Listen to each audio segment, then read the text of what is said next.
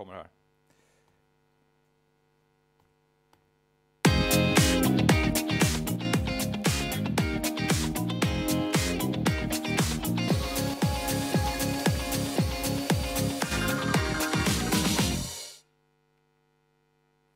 Floor is yours. Okay. Thank you. Hello, everybody. I'm uh, Pär Bergsten, and uh, normally I speak Gotlandish, but uh, we uh, decided to make this presentation in English. so I hope that's okay for everybody. No one objecting, so I hope they understand it.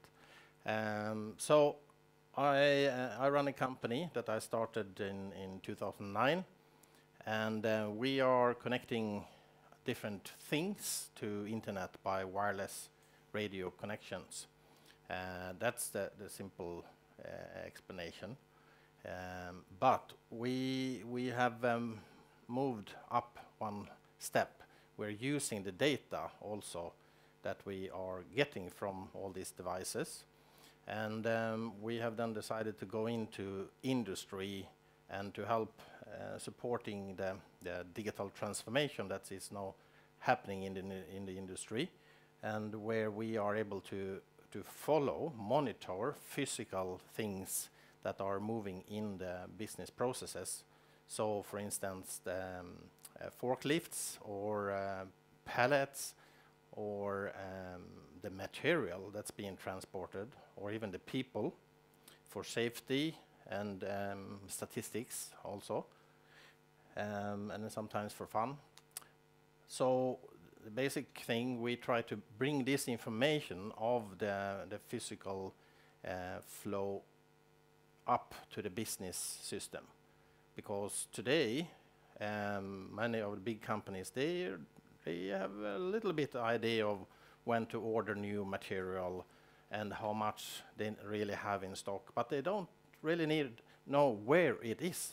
Where is all that material that is floating around in the factories and are on the way to, to the factory and are, are supposed to be consumed by the assembly station, the, the big uh, expensive robots that they have invested billions of dollars in. Um, and, and, they are, and, and sometimes they are surprised that they are standing. Why are they standing still? Well, they didn't get the material in a time. So that's, this is a really huge problem. And uh, there's uh, been a lot of investments on doing the automation of the, of the assembly. But how to handle this flow of material, that, that is very manual. So that's why we think we can solve that problem, and we are doing that by now working with very big companies in the industry. Um, so we, we are inventing a lot of technology.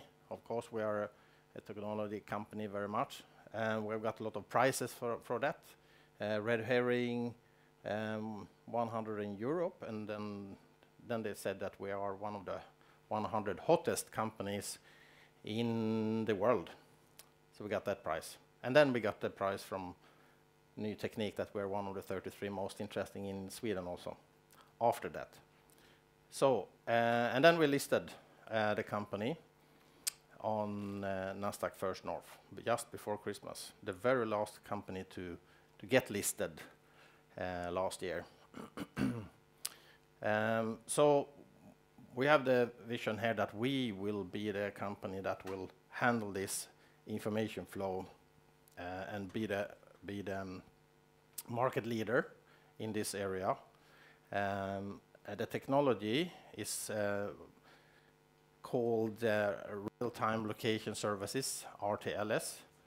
Um, we're also using GPS outdoor, but the problem with, uh, with the GPS is that it doesn't work inside. And uh, these buildings, uh, the factories, they are very big, many uh, 10,000s, 100,000s of square meters. So if you want to know where the things are, you cannot use GPS. Our system then is, is complementing sort of the outside technology GPS with then sort of inside uh, GPS. But it's not GPS. It, it makes the same feature, and, and um, uh, that is commonly known as uh, RTLS, Real-Time Location Services. So we think we can become the market leader in this. This is a market that is right now very, very little. We are building the market, and we are getting confirmation that there is this need. So we are now in trials with a lot of these big companies, how to integrate this. Um, I should mention also that uh, that we listed the stock option here uh, just um, this week also. So I guess all of you now interested in in shares uh, have heard about Internet of Things, and that is really everything and, and nothing. It's like when internet came. It's just that now all the things will be connected to internet. Um, and so it's just a technology, so you have to find a relevant application. And we are already working with sort of selling modules to this market that is exploding, uh, the target to be 20... Oh, this disappeared. It should say 20 billion units uh, by 2020 there, so a lot of, a lot of units. We are supporting that market with sort of as a technology partner with modules, but the the new business that we are building here is the services business, where we provide a service to the companies of um, showing on a map or a service on how they are using their equipment based on the, this technology as our own service. Um, so we have started as a company selling small modules, wireless modules, and we're continuing to do that. But if we look at the value of hardware, I mean, what is the value according to Gartner? No, McKinsey here. What is the value in the whole Internet of Things? We can see that added services uh, is much more valuable. So so the value chain here, hardware, uh, connectivity, and services, we started with doing the hardware, and then we have, since 2009, developed a lot of software to do connectivity for a lot of companies, like LG's air condition. LG is number one in the world. We connected their uh, air conditions to internet, um, and then connected it to smart grid. Um, we have done uh, robot uh, connectivity, we have done Uh, thermostats, so a lot of smart home things. But over the last years, we have moved over to try to provide a service here, which again, is the big value. Um, but we're continuing to be also a technology company, selling the modules to all the other guys doing an application, and that want to uh, have a connectivity, because we are experts in wireless connectivity. Um, so this is explaining that, yes, we moved from selling modules and added something that we call now a business area enterprise. So connectivity is where we sell the modules. That business area is still there, and and um, uh, we have a new generation uh, coming out, and I will show a little bit later what's happening there. That's very exciting now. But the high value is, um, again, in the services, and you cannot develop applications for everything. So again, we selected to to, to be the one that are leading on indoor positioning for industry. So we have now sort of three um, business areas there: connectivity for the modules, labs is just in the middle, doing the development internally and externally, if someone want to have a turnkey solution, which we also can do. Enterprise is where, sort of where we have brought in the money and are consuming the money to develop this area, uh, technology and pilots and and um, um, marketing and sales activities. Um, so again, a lot of lot of uh, money is planned to be uh, generated because of the Internet of Things, and we selected a manufacturing here because that area is is by by its own estimated to be a very big part of the Internet of Things value. Uh, and again, we are now looking at adding value, not just adding technology. So how do we do that? How can we do GPS indoor, which is not GPS? So what is it? Well, we have our own infrastructure then. So you can see this is sort of simulating the GPS satellites that are going around the world so you can get the coordinate. Uh, instead, inside, we are putting up our own small satellites. We call them sense points. Um, and it's not GPS uh, radio or protocol either. Uh, we have, um, we're basing this on Bluetooth, BLE, and ultra-wideband. Because with ultra-wideband, we can get the position down to a decimeter accuracy, which is uh, very good and, and makes it possible for us to follow things much more accurately and and um, it's the flow that we, we try to analyze, not just uh, an individual position. Um, so we are then tagging the different things, the tools, uh, the pallets, uh, the forklifts, and then these are sending radio beacons just to like this to, to everybody. And we are then collecting them here and sending the information about the beacons to our server that is then calculating the position. But not, again, not just the position. We're calculating uh, the, the, direction, the speed, how many, um, how long are they in, in one, one zone. Um, so we can then start to analyze how is different assets utilized. How much are they are they used? Do you need to have all those forklifts? If you have 1,000 forklifts, but we can show that they were only utilized to 60%, well, then you can remove that uh, those 400 forklifts from your balance sheet because they show up on the balance sheet there every year. Well, you need to serve them also, so it's an additional cost, um, and you need to have people running them, and that is even a bigger cost. Um, so the next thing here is we can increase the production flow, and that's very important. How do we do that? That's because we can identify the different buffers where people are piling up um, uh, material. So if you don't need to have all those piled up, well, then you get a faster lead time. And of course, we can show where are most of the bottlenecks and, um, and, and, show that the flow is, is uh, slowing down always at this particular point. So those, those things are very important to Im improve uh, the whole production and remove the, the um, binded capital. Um, and of course, to utilize our value to get the information out here, we have integrated this with SAP and I don't know why we don't get it in the full picture here. I will try to give you the full picture, but, but this picture is missing a little bit on. Um, but this should say SAP there. So we have integrated with SAP. And I have a short movie. Just um, see if this is working. If you have audio on there.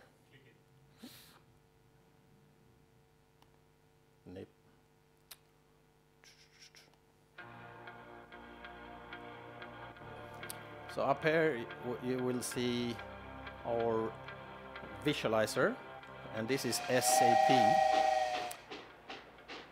the world's most used business system. Hi, I'm Raj Patel with H&D Wireless of Sweden.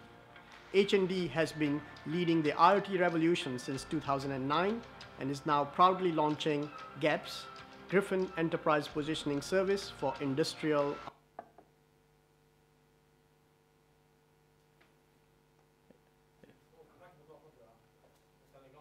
bottlenecks because pallets, racks are missing or stacking up high in the wrong places. Would you like to increase production throughput and asset utilization for forklift trucks, pallets, racks, returnable transport packages? GEPS, Griffin Enterprise Positioning Services is the solution. With GEPS, you can track and monitor the movement of your key assets, materials, and pallets in real time into your ERP software. Here we are demonstrating the use of GEPS in an automotive production environment. The little train is carrying racks with car doors from the receiving area to the assembly line. At the assembly line, the racks or returnable transport packages are unloaded, the car doors are fitted to the cars, and then the empty RTPs are sent to a stocking area. Uh, GEPS for industry is already pre-integrated with SAP and can be customized for your particular needs in collaboration with SAP Business Consultant Partner Suite. To digitalize your production and business processes and take it to the next level for better efficiency, profitability, please contact H&D Wireless. Thank you. So what we're showing here is that we are able to follow the train down to the, the track level, uh, so within a decimeter. That is the accuracy of the system. We can also identify when it arrives at different places here. It doesn't show really good here, but it shows up here that we are sending the information over to SAP. SAP is, is a huge, big system designed in, in Germany and used by roughly 80% of all the manufacturing companies in, in the world. Um, so here, but it doesn't really know real time. So someone have to sit there and, and put in the information, and what we do, we automatically update the, the different storage uh, points that are in, in the business system. Uh, so it, it, saves that part and makes th then the, the sort of the decisions that you can make based on SAP when you need to order things more accurate, which reduces the, the, the capital, again, uh, that you need to buy the material. Um, so that is what we're showing here. We're also then showing in real time the flow uh, that we don't send over to SAP, but we show that to the people responsible for handling the internal logistics. So those are the people that think that they have been underfunded uh, internally because all the money have gone to the robots. So the people handling this logistics, making sure that th this flow is working, they, they think this is great. So they want to look at our systems. Um, oops. So just a, a, very short view on, on the system. It's a very, very big, complex system. We've developed it over many years and it consists of course of a lot of radio stuff here, protocols, talking to our cloud system that we built on Microsoft Azure platform, which means that it doesn't run or on our computers. Uh, we don't try to support uh, the big companies with our computers. It runs in the cloud, and many of the big companies already use services where it's running in the cloud supported by Microsoft Azure but we also have the possibility to put it locally. But it's not just the position here that we want to provide. We want, and uh, we are, developing services on top of this. So we are able here to show, to, to, um, to have a service for asset management where we're showing the utilization. Of course, we show also how to find different, different assets in here, seek and find. Um, but it's, it's, um, it's a utilization that is important um, and to save save time.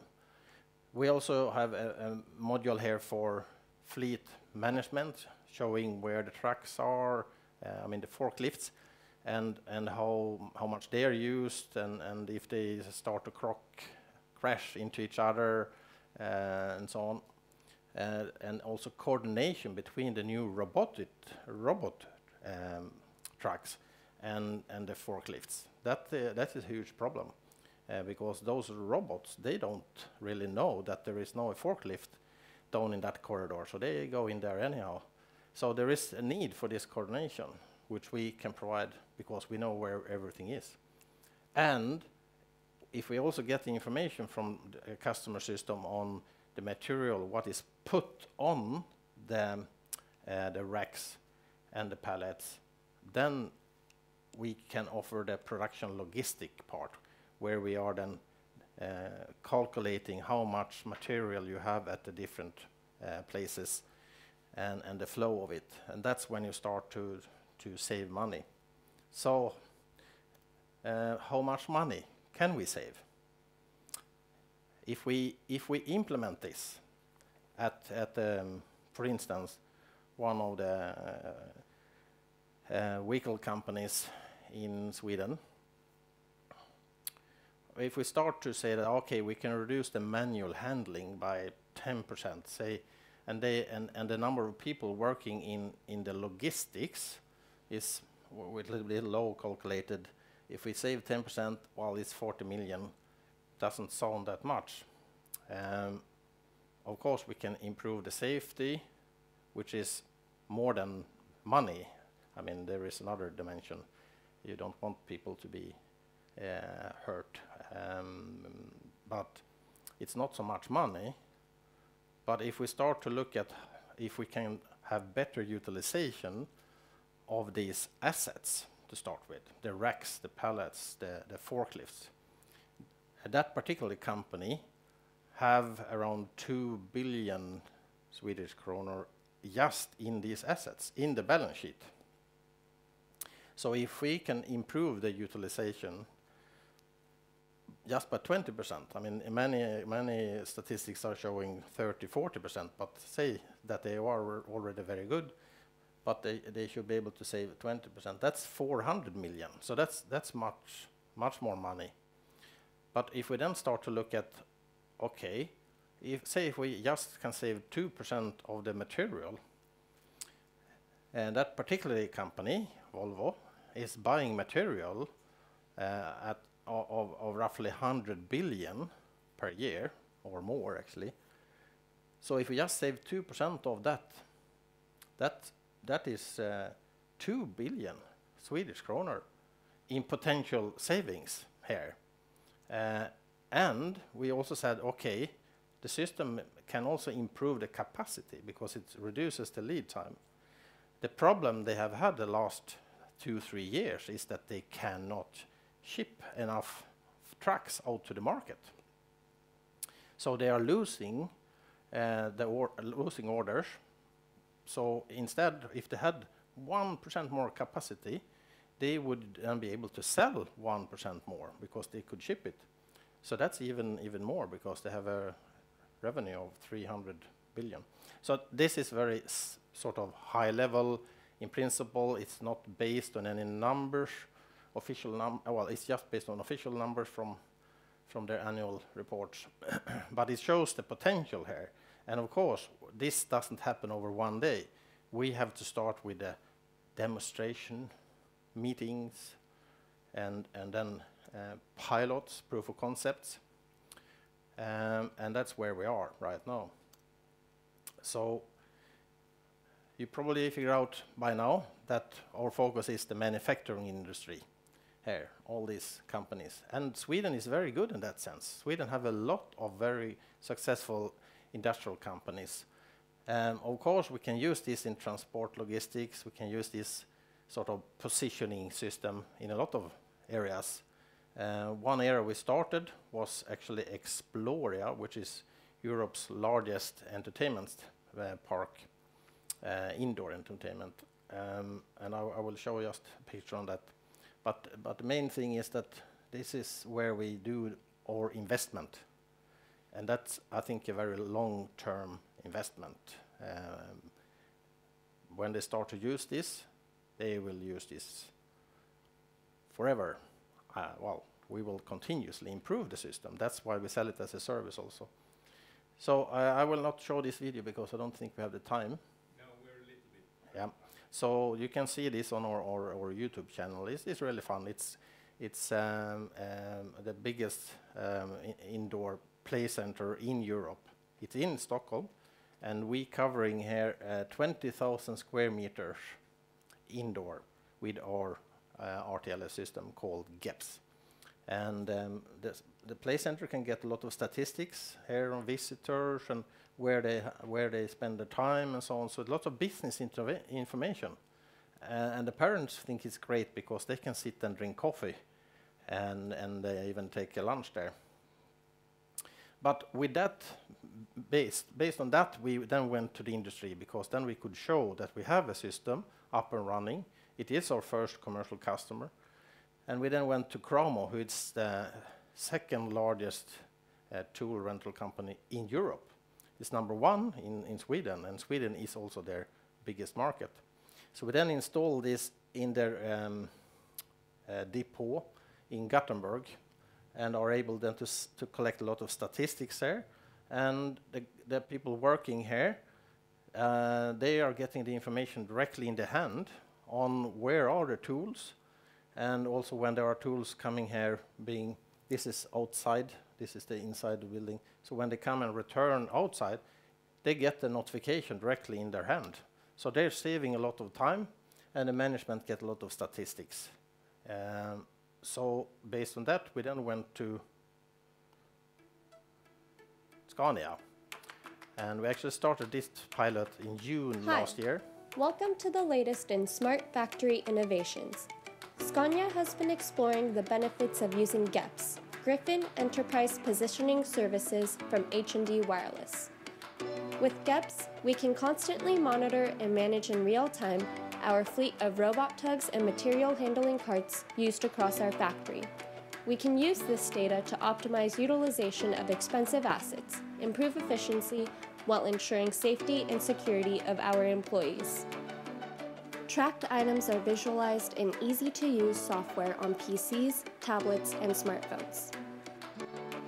Besides position, we can monitor the condition of the tracked asset, letting you know if it has been dropped or exposed to extreme temperatures. Worker productivity is increased because they can quickly locate the necessary tools for proper assembly using GEP's equipment dashboard. Less time is wasted as the factory keeps humming and throughput increases.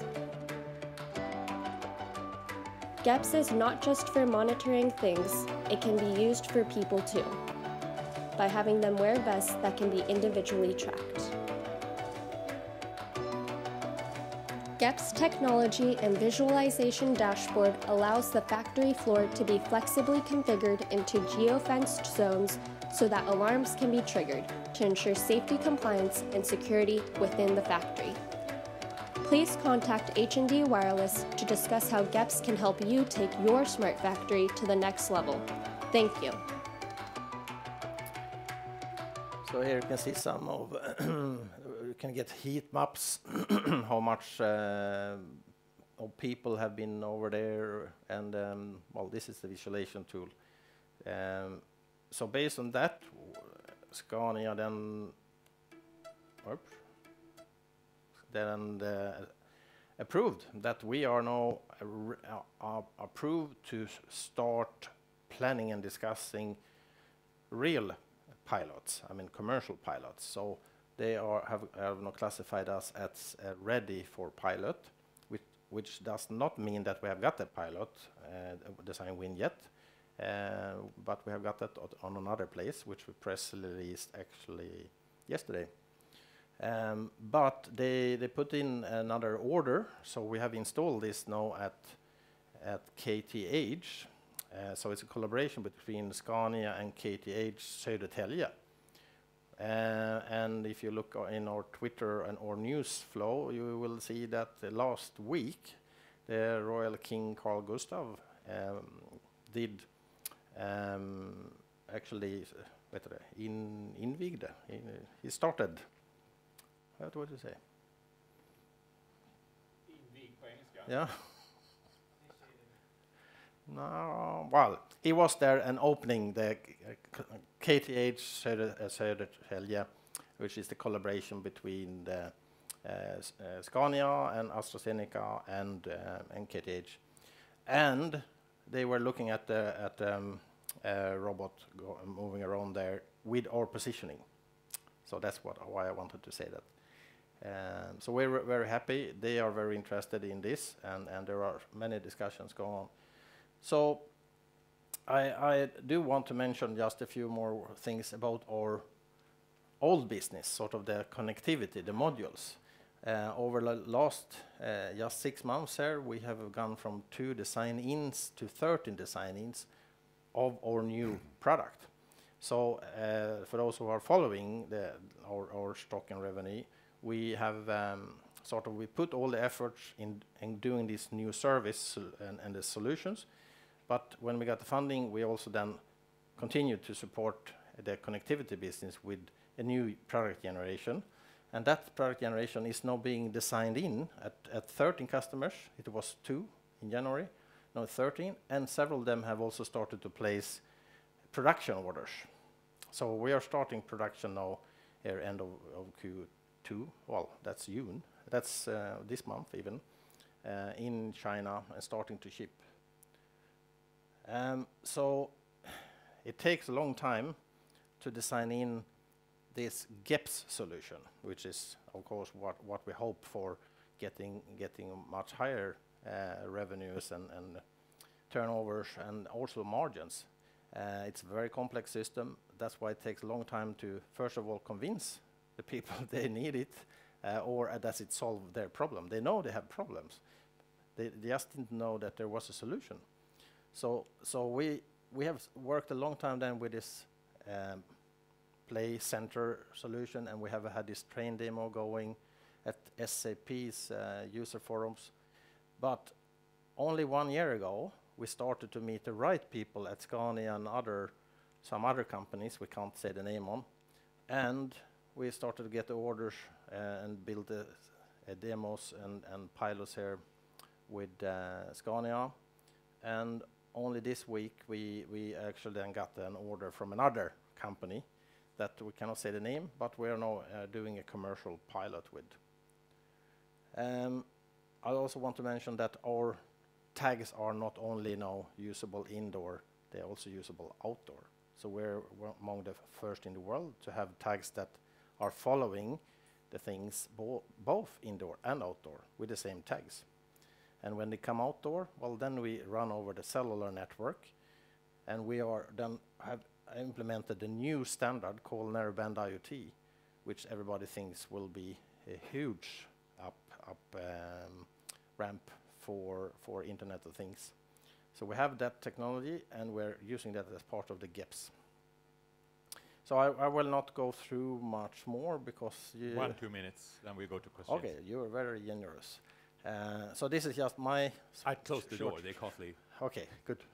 Uh, so this is just my sh- short background, and this also symbolizes the competence in the company because a lot of the, the guys, sorry, mostly guys, a few few uh, women is working as engineers also, but um, um, many of them have been with Ericsson. I was with Ericsson for 14 years, and then 1997 I set up my first company. So always doing wireless connectivity, as you can see, but for different applications and, and, and I managed to sell these companies and then set up this company. And we've been running here trying to not use venture capital uh, but our own money. And then until we saw that okay we can now do this service that we need to invest in then we then we got help to uh, start getting funding uh, from from the uh, private equity uh, and then listing the company. So a lot of good people. The, it's on also on the web page. A lot of experience, and again, we have shipped a lot of devices, over a million units. It took time because the business models have to. It's not just to get the data. I mean, people need to find out what what kind of business can we new, can we now do on this, and that has took a long time. Everybody have been trying different business models. Uh, Vattenfall and Eon, for instance, have tried to to give out these uh, power switches, but no one is using that now. Um, so there are uh, new business models everywhere, and we have done a lot of different projects. Uh, uh, also, uh, Fish Spy is a camera to use when you're fishing. Uh, it's a nice video on, on our, our homepage for that. If you're into fishing, it's, well, it's still a good video. Um, so I will unfortunately not to be able to go through the finance, but we have a, a good board here. Um, Peter from Clevester, he used to be analytical at uh, at Carnegie. Uh, Carl used to be with Ericsson. He is now uh, at Sweet, that is one of the of the good SAP integrators. And again, we need to be in this ecosystem now, the new ecosystem, with the big companies, and and uh, Sweet is is already supplying a lot of the big companies with integration support when they want to get new features into their business system, like SAP. And and Hans have actually been uh, advisor uh, and a business consultant with, well, all the big industry companies in Sweden, and particularly with the t- upper management in Södertälje. Um, Okay. So a summary, we have a world-class IoT solution, but the focus is now what we have added on is the real-time location services, where we optimize the business flow for for the industry, and we listed just recently.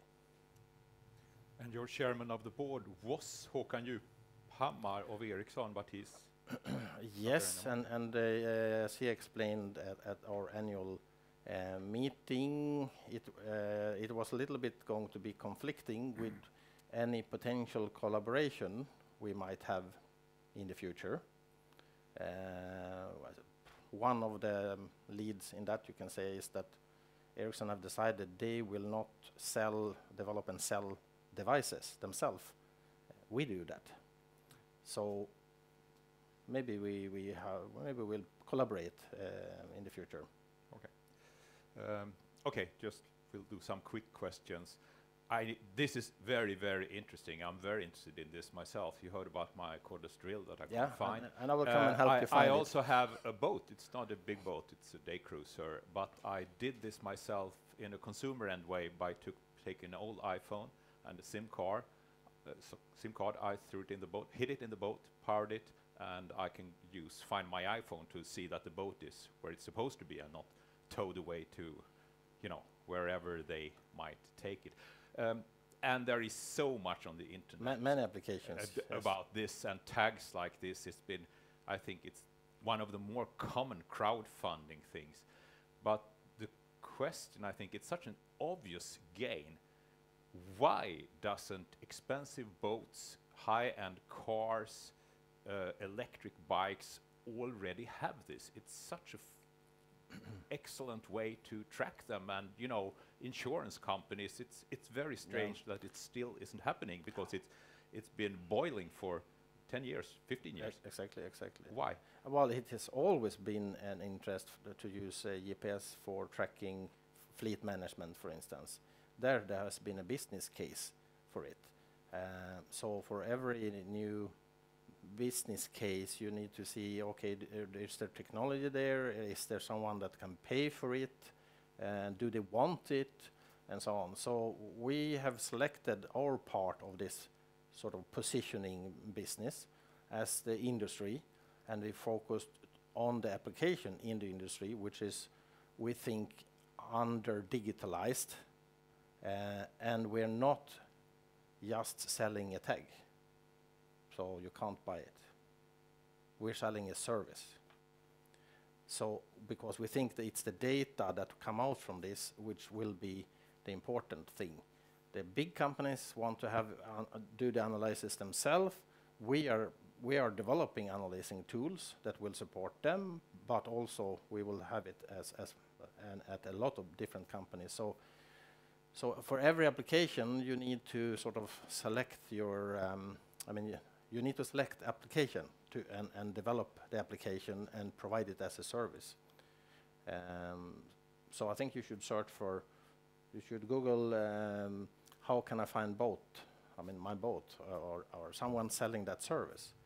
Um, because you can buy tags and put in yourself. I mean, you can put the iPhone there and you can look at it for one day and then the battery is out. So even the tags have to be optimized. So these tags will have a battery time of more than a year. Um, so the application, you have to select the market and the, and application and, and what you want to offer. We offer it as a service. Um, and, and that's what, what we think will be, be um, the continuous payment uh, stream coming in here. okay so, so follow-up question on that is is there enough barriers for a big industry and incentive for them to keep you there when Scania is a paying customer of yours. Uh, what's to prevent Google from coming in, selling $2 tags and just uh, giving them an interface and doing a cheaper version of, of you? Will that happen or will it not happen? Well, i- that's a very, very good, good uh, question. I mean, again, we have selected a market which is very high, high entrance level. It costs a lot to come in there. Google is not in industry. I mean, have you heard Google being used inside any, any industry today? I, I don't think so. But of course, it could be, but still, they are not doing indoor positioning uh, in, in the way we, that we do here. We, they, they, they have no solution. They don't sell tags. So, um, so that will take some time. And so we, we are hopefully being, going to be the market leader in this before any, anyone else can, can do this. But it, it is a race. We cannot just sit and or do, do it very slowly. We need to focus and, and deliver. And, and then the market need is there. I'm sure. Question from the audience? Okay. So, uh, yeah, lots we haven't talked about, but uh, time flies. Uh, Yep. Thank you, Pär, Okay. H&D Wireless. Thank you very much. Thanks.